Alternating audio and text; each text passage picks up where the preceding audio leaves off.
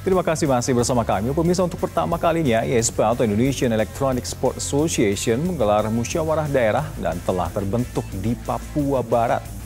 Perkumpulan Olahraga Elektronik Indonesia atau IESPA telah terbentuk di Papua Barat dalam satu musyawarah daerah pertama kali pada Rabu waktu setempat.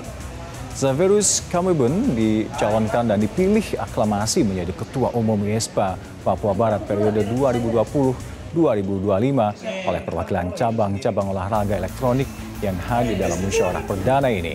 Dalam waktu bersamaan, kini tengah digelar tanding Dota 2 di Manokwari, diikuti delapan komunitas Dota 2.